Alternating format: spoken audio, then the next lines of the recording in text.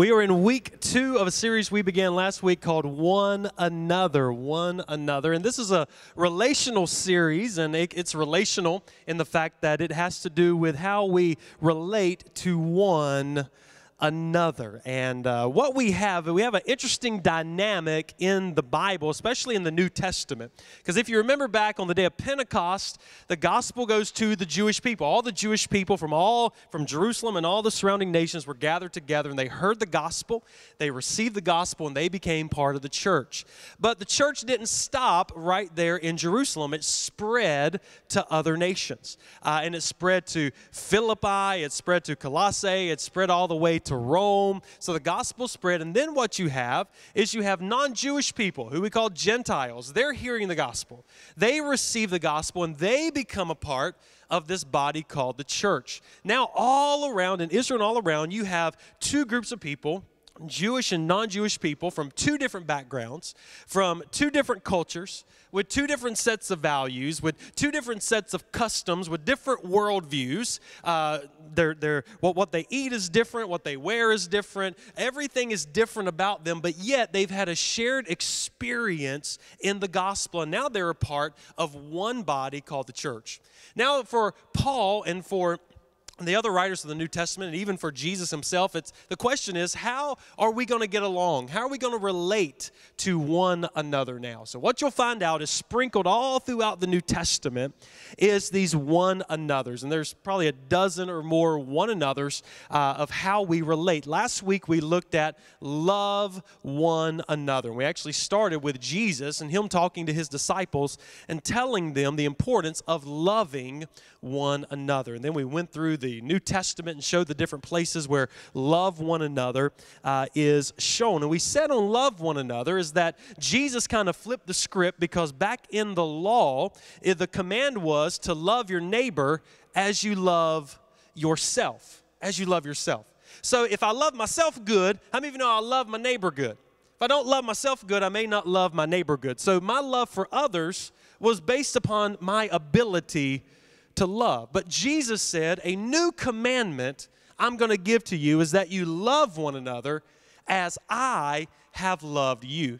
And when we let Jesus define love, when we let Jesus be the example, and when we let Jesus, who lives in us, love through us, then it will give us a greater experience of how we can love one another. So I hope your prayer this week was what we talked about. Father, love people through me, not by my love, but by your love. Well, today we're going to look at another one another. And the one another we're going to look at today is wait for it, forgive one another. And everybody said, uh.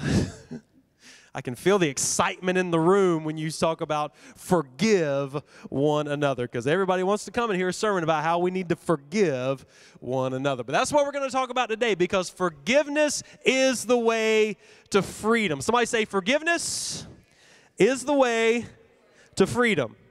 Forgiveness is the way to freedom. If you want to live in unforgiveness, you can continue to live bound up. If you want to live free, the first step in that is forgiveness. It is a powerful, powerful principle. It's powerful, first of all, because everybody in the world needs forgiveness. You needed forgiveness. I need forgiveness uh, from God. We all need forgiveness because we've all sinned and fell short of the glory of God. Therefore, we needed God's forgiveness. You know, and being relational people, we don't always relate to one another well. So there's probably been times that you've needed to forgive somebody that's hurt you. And then there may have been times that you've needed to be forgiven for something that you have done to somebody else. We've all been in that scenario. So we're going to look at what the New Testament today has to say about forgiving one another. We're going to begin in the book of Colossians chapter 3. Colossians chapter 3 if you have your Bibles or your phones, you can you can pull up Colossians chapter 3 and we're going to look at verses 12 through 14 today. Colossians 3 12 through 14.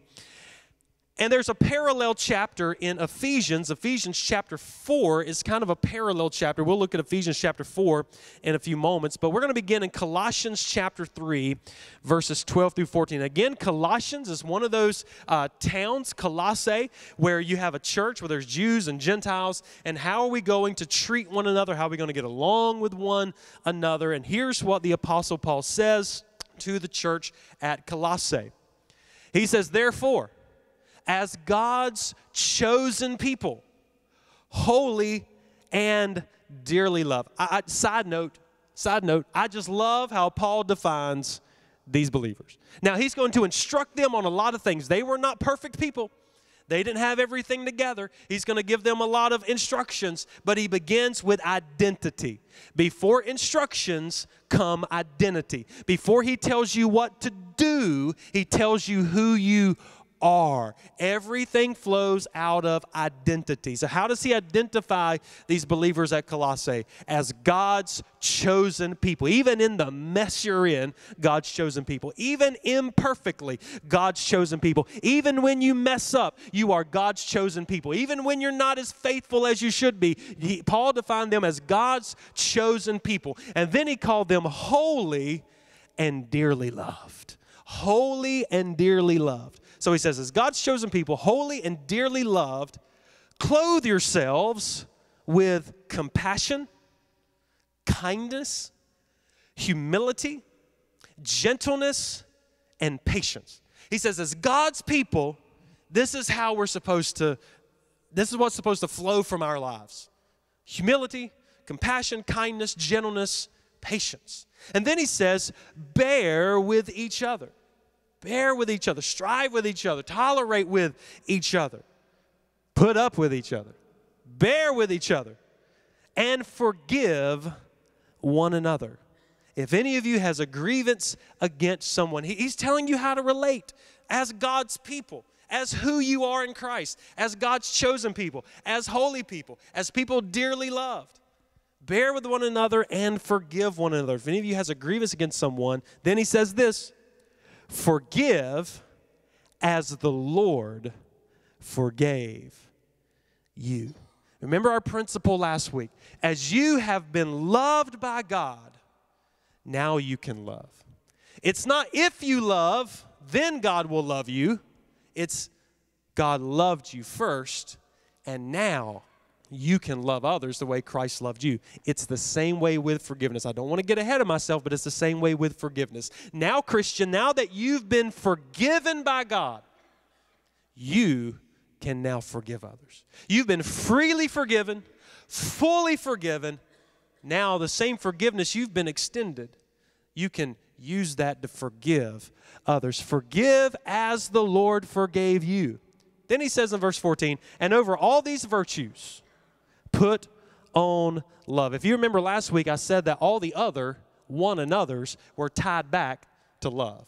And here's the first example of this. Over all these virtues, put on love, which binds them all together in perfect unity. So if you want unity, if you want unity in a church, if you want unity in your household, if you want unity in your marriages, if you want unity as a parent, if you want unity in your jobs, if you want unity in all of your relationships, this is a good place to go. This is a good place to go that tells us the way to unity. And we could spend a lot of time breaking this verse down, breaking these verses down, talking about all this stuff, but I want to focus on one thing today, and that is your highlighted words forgive one another, and forgive as the Lord forgave you. I love what the Passion Translation says. It says, forgiving one another in the same way that you have been graciously forgiven by Jesus Christ.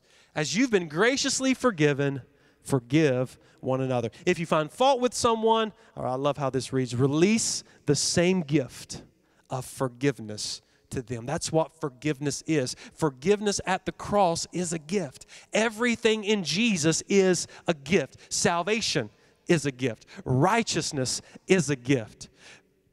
Forgiveness is a gift that is freely offered to everybody because forgiveness was done at the cross.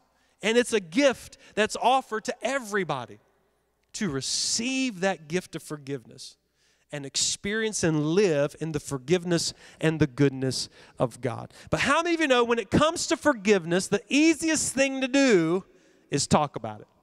The easy part was for me to read those verses, right? That's the easy part in forgiveness. The easiest part to do is to tell somebody you, need, you just need to forgive that person. You know? You just need to forgive them. Sometimes it's easy just to tell our minds, you know, we just need to forgive that person. But how does that work? Because where, where there is forgiveness needed, obviously there's something behind that forgiveness. There's a, a hurt, there is a, a fault, there is a betrayal of trust, there's a breaking of relationships, there's maybe hard work needed at restoration that may you may feel like doing or not feel like doing. It involves injury and offense. All of these things are behind the need to forgive. And there are many ideas and beliefs about forgiveness. And some of these feelings about forgiveness, some of these ideas about forgiveness, and, and long held beliefs about forgiveness can actually hinder us from fully and freely forgiving. I want to talk about a couple of these today. All right, have you ever heard the term forgive and forget? Forgive and forget. I, we've all probably tried to forgive and forget. And sometimes we think the forgiving part, hey, you know, we can do that, but the forgetting part, you know, that's a little more difficult. And sometimes we feel if we don't forget, then it cancels out our forgiveness. So one question would be, and I've had people ask before, if, if I can't forget it, does that mean I haven't forgiven that person? So they're afraid and they live in guilt that maybe they haven't forgiven if they haven't forgotten, because we hear that all the time forgive and forget. We'll talk about it. Secondly, what about negative feelings?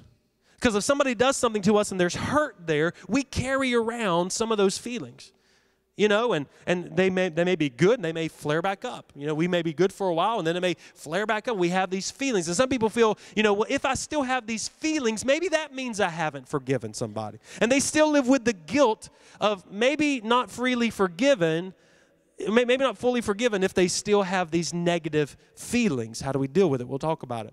Or there's some attitudes about forgiveness, you know? Or how about well, I'm not going to forgive them until they ask for it. If they want my forgiveness, they need to come and ask for my forgiveness. You know, we have that attitude in the world. And what that does is that keeps us in unforgiveness. Or how about this one? And we'll talk about this. If I haven't perfectly forgiven everybody else, does that mean God will not forgive me? There's people walking around saying, well, if I don't forgive others, then God's going to turn that on me. We'll talk about it. Or maybe somebody, maybe the issue is we haven't fully forgiven ourselves for things that we've done in the past, and we, we live with guilt and we live with, with shame and, and unworthiness because I can never truly forgive myself. Or, or what about I shouldn't have to forgive? You know, they deserve, they deserve my anger toward them. They deserve that. And we seek retribution more than we seek reconciliation. Or how about if I forgive, then that may be me condoning their actions. And if I forgive them, they'll just, they might get away with it scot free. And, and we can't, I can't be condoning it and, and they need to suffer the consequences. So if I forgive, I feel like I'm condoning what the person gives. Or what about I can't forgive because I still don't trust them? We don't think we can forgive until we can trust the person. So you can see how deep this issue of forgiveness can go. And, and you can see why there are people that work through these issues of forgiveness for many, many years in their life because there's many deep seated beliefs uh, many deep seated ideas, many feelings behind the issue of forgiveness. Well, what we want to do today is we want to, to look at this issue of forgiveness through the gospel because that's what we do here. We look at everything through the gospel. And forgiveness, again, it's easy to read it. It's another thing to put it into practice because, as C.S. Lewis says, everyone thinks forgiveness is a lovely idea until he has something to forgive. So when all the pains of life come to us the heartbreak, the injury, maybe the abandonment, the betrayal, the offense here's what we must understand every hurt is personal, and hurts cut deep.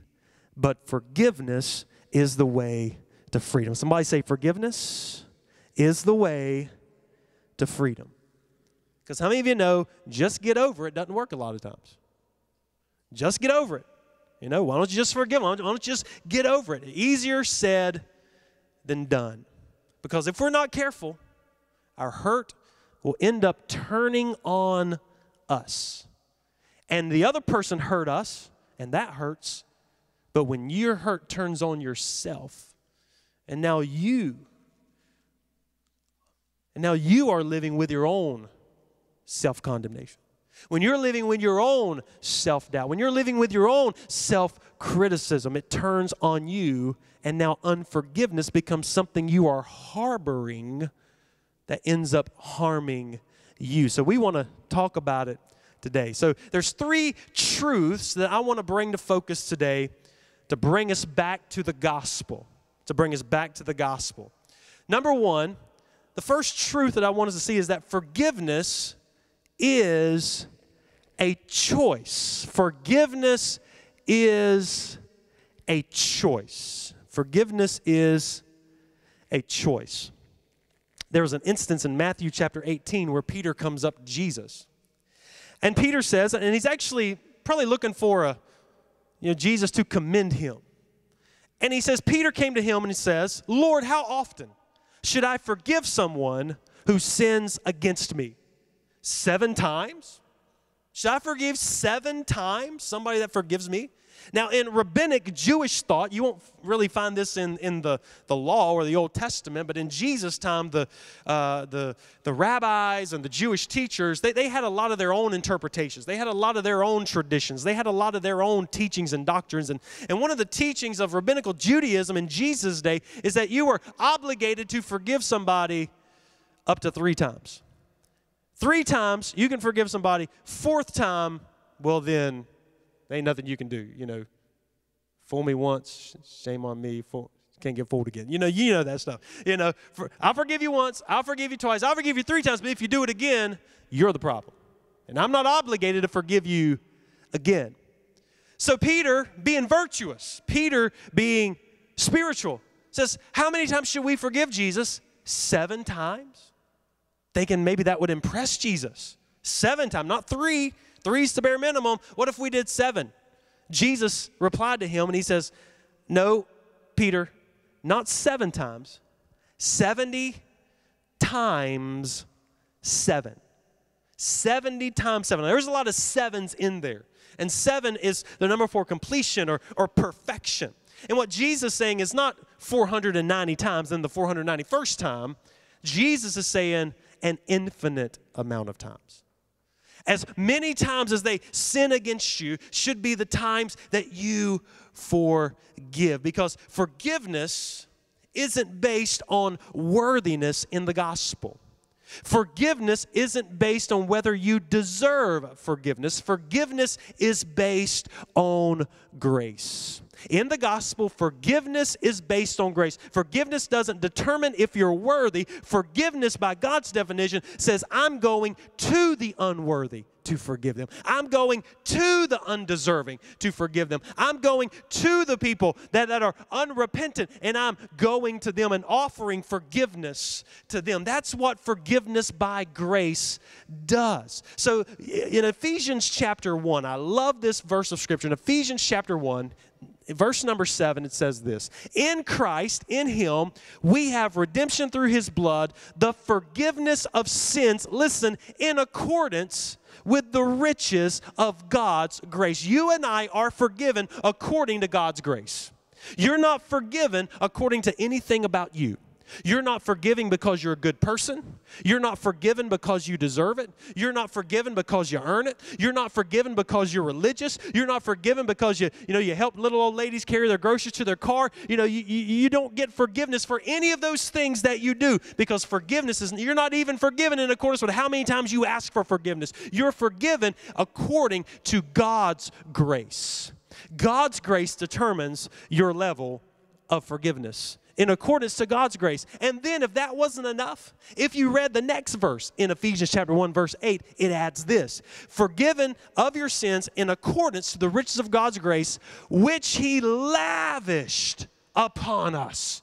Which he lavished upon us. How rich is God's grace? God is filthy rich in grace, and he has lavished all of the riches of his grace onto your life. In spite of everything you've done, all of your mess ups, all your mistakes, all of the hurt you've caused, all the hurt that was caused to you, everything you regret, everything you're guilty for, God's grace has been lavished upon you, and God has forgiven it and wiped your slate clean. That is the riches of God's grace. He's filthy rich in grace, and He lavished it upon you. Forgiveness is by grace. Forgiveness is by grace. But what about this?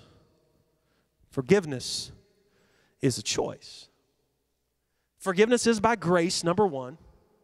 Forgiveness is a choice. Forgiveness is a choice. But what about feeling? What about feeling? Because, as we said, behind every need of forgiveness, there's hurt and wounds, and there's feelings and emotions behind all of those things. Can I say that I forgive somebody without the feeling of forgiveness? Can I say that I forgive somebody if I don't forget?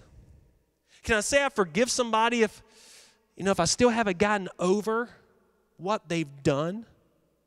You say forgiveness is a choice, but if I still feel something, does that mean I haven't forgiven them? Here's something I like to say I like to use the phrase,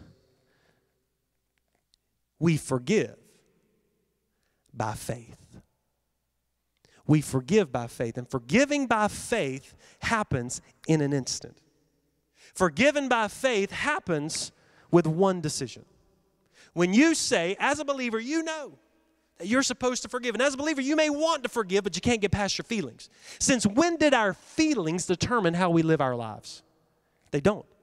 If we're living by feelings, a lot of time we're not living by faith. So we're not waiting for our feelings to validate our choice to forgive. I'm going to forgive in spite of my feelings. I'm going to forgive regardless of what I feel on the inside. It's not hypocritical to rise above your emotions and act in a way that's consistent with the character of God. It's not hypocritical at all. So here's what I like to say faith forgiveness is instantaneous, feeling forgiveness is a process. Faith forgiveness is instantaneous. You can forgive somebody and say, God, you know I'm hurt. You know my emotions. You know my feelings. You know what I'm going through. God, I don't want to feel this way, but God, I forgive that person. That's forgiveness by faith. That's you acting in a way that's consistent with who you are in Christ. It's a choice. Then you can say, Now, God, help me with my feelings. Help me in this process that where I say forgive them, but then I see them and, and the feelings start to come. That's where the Holy Spirit will work on you. Faith forgiveness is inst- instantaneous. Feeling forgiveness getting over those feelings of hurt is a process. And one thing I tell people, one thing I've had to practice in my own life, is to practice verbally hearing yourself say, I forgive that person for this. Again, you may have the feelings, it has nothing to do with the feelings. Verbally out loud, at your home, in your car, in that prayer time, say, Father, I forgive so and so for this. That way you are hearing with your, your own ears, your own mouth, speak words of forgiveness. And hearing yourself speak words of forgiveness will start that process of those feelings going away, those feelings subsiding. So, verbally hear yourself say, I forgive you, even if your feelings don't match your words. And if you do this enough, your feelings will catch up to your faith. Your feelings will catch up to your faith. So, forgiveness is a choice. It is by grace. It's not dependent upon if the other person deserves it, it's dependent upon you making the choice. And another thing, you know, go ahead and make the choice to forgive before the offense even comes. Go ahead and tell yourself, you know, when somebody offends me, forgiveness is my default. I've already made the choice, even before I'm hurt, before my feelings get involved, that I'm going to forgive. So, therefore, you've already made the choice to forgive even before it happens. Number two, forgiveness is our new nature. Forgiveness is our new nature. God forgives because He is a forgiving God. It's His nature. He's a loving, forgiving Heavenly Father, and it's His nature to forgive. And we are most like our Heavenly Father when we forgive others. So, what's our motivation for forgiving? Twofold. First of all, it's because of love. It's because of love. Because God loved us, we love others. And in Colossians chapter 3, remember that? Above all these virtues, love one another. And then number two, our motivation for forgiving is because of what God has done for us in Jesus Christ. Because God has forgiven us, we now forgive others. Just as God has loved us, therefore we love others. Just as God has forgiven us, therefore we forgive others. It's the nature of our loving God to forgive, and He's forgiven you. So therefore we forgive. It's our new, despite what you feel, again, it's not about your feelings, despite what you feel, it's your new nature to forgive. E- even if you have a hard time forgiving, a hard time getting over it, you should at least have a want to. I, you know, I want to forgive that person. I just, we say, I want to forgive them. I just can't. I want to get over it. I just can't. Well, the want to is, is a good place to start because the want to shows that you're living out of your new nature. You just have to overcome that flesh with faith because that's our new nature. So if you notice, if you go up to the very beginning of chapter 3 of Colossians, Paul always addresses behavior on the basis of identity. If you remember that, remember our passage? How did he start out? As children of God, holy and dearly loved. He appealed to identity before behavior. He appealed to identity before behavior. If you went all the way back up to Colossians chapter 3, verse 1, it says, Since you have been raised with Christ, set your mind on things above. Your position is you've been raised with Christ. Now, this is how you live from that. And he says down a, a little bit more in verse number nine. He says, Since you've taken off your old self with its practices and have put on your new self, renewed in knowledge after God. So the whole basis of forgiveness is based on our new nature. It's now our nature to forgive others freely, by grace, even if they don't deserve it. Ephesians chapter 4, you can go back and read Ephesians chapter 4. It's kind of a parallel passage to Colossians chapter 3. Listen to what Ephesians 4:32 says. Be kind and compassionate to one another, forgiving one another just as God in Christ forgave you. So again the same principle. Forgive others in the same way God in Christ has forgiven you. And then if you read up in Ephesians 4, it says to put off the old man and to put on your new self, created just like God. It appeals on the basis of our identity. It is now our identity, our new nature. And part of our new nature is that we've been forgiven by God. And I want to address this very quickly. We've been forgiven by God. I've said several times in the message that because God has forgiven us, therefore we forgive others. And this gets confused sometimes with something Jesus says that seems to say the exact opposite of what Ephesians and Colossians says. Because Ephesians and Colossians says this, to forgive one another just as God for Christ's sake has forgiven you. Has forgiven you. We read in Colossians chapter 2 verse 13. When you were dead in your sins, and in the uncircumcision of your flesh, God made you alive with Christ. He forgave us all our sins. He forgave us all our sin. That's a past tense word. It's past tense in Colossians 3 13 just as God has forgiven you. It's past tense in Ephesians chapter 4. Be kind, forgiving one another, just as God in Christ forgave you. First John chapter 2, verse 12, when he's writing to his little children, he says, I'm writing to you, dear children, because your sins have been forgiven on account of his name.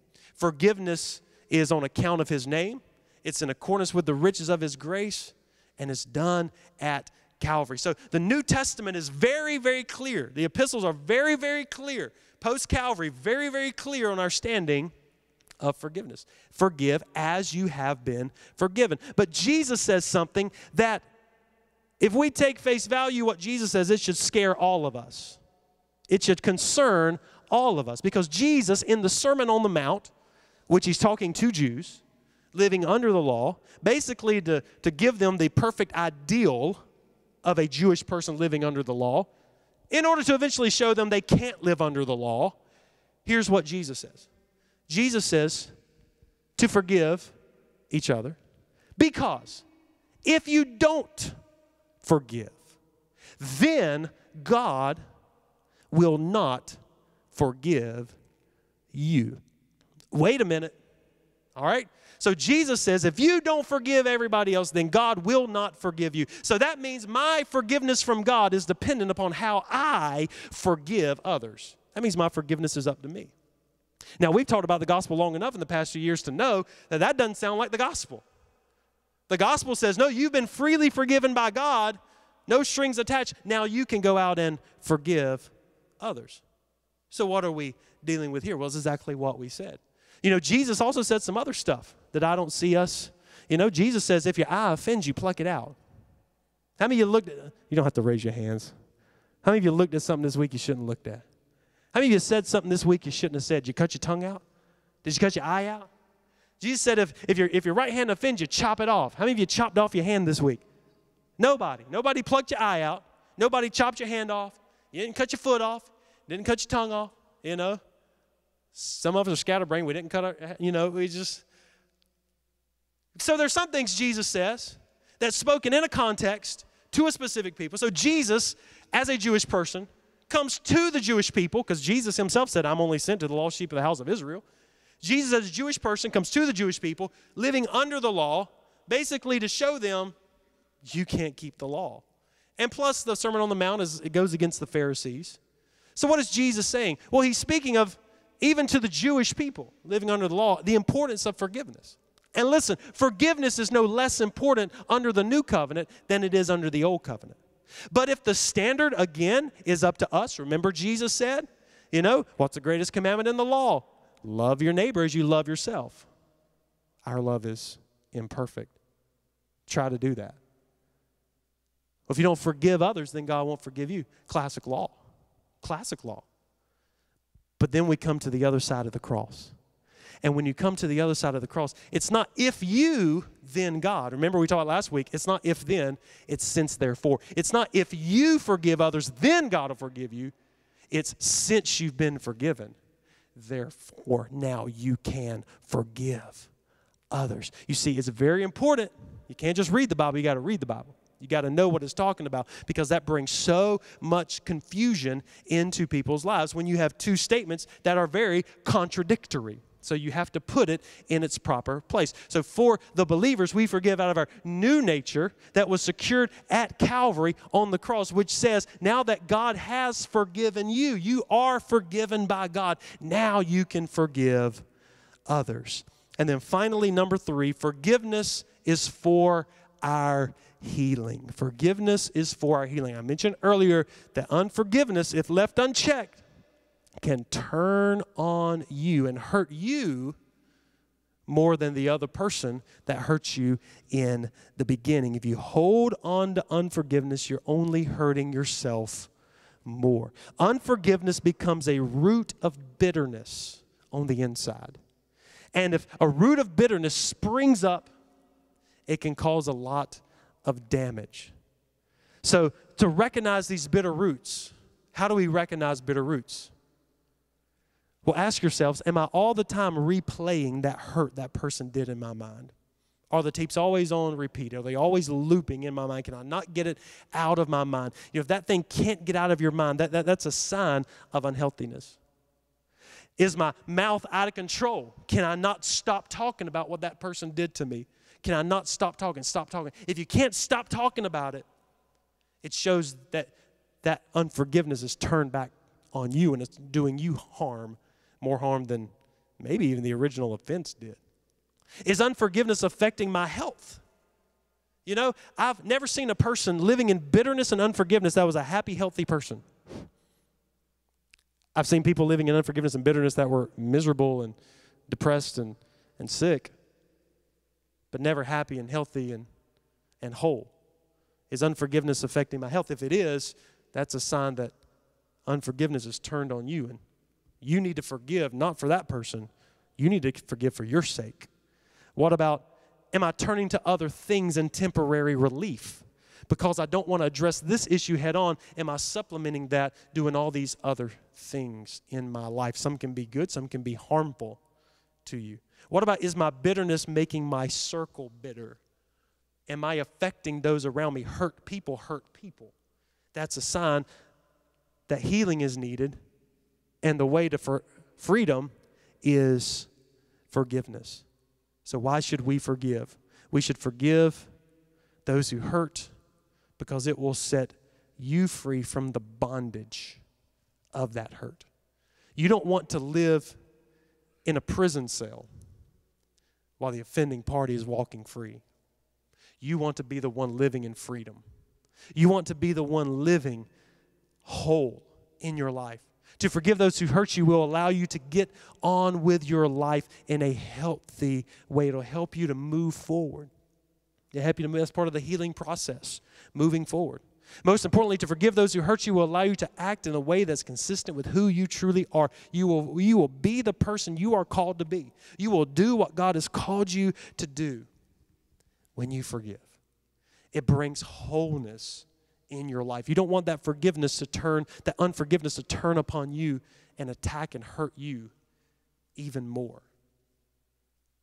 Forgiveness is the way to freedom. So, as we pray today, there's some specific things that I want to pray. I want to pray that our hearts will be healed from all hurt and bitterness, from all pain. Everything has been spoken to us, everything has been done to us, that our hearts will experience healing today from our healer Jesus.